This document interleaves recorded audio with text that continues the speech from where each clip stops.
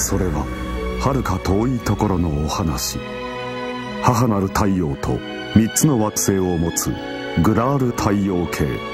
そこに住むヒューマンと彼らから生まれたキャストニューマンビースト。4つの種族は500年にもわたる戦争後互いに共存する道を選んだ。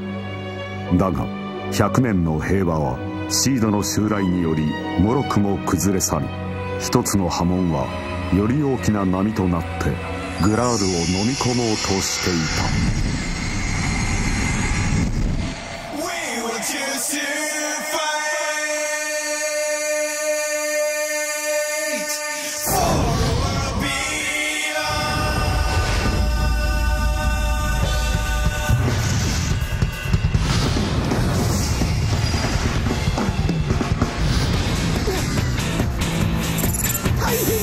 実験用の原生生物が逃げ出してしまいました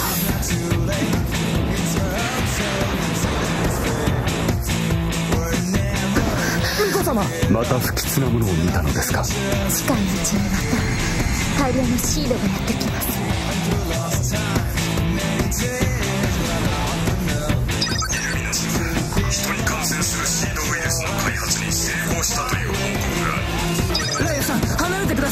そいつに近づいちゃダメですこれは。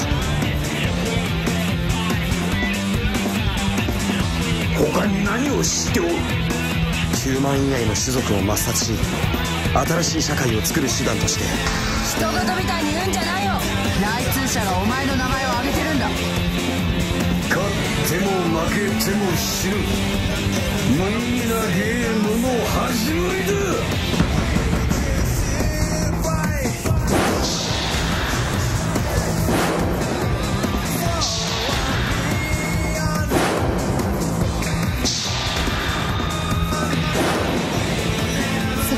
soon.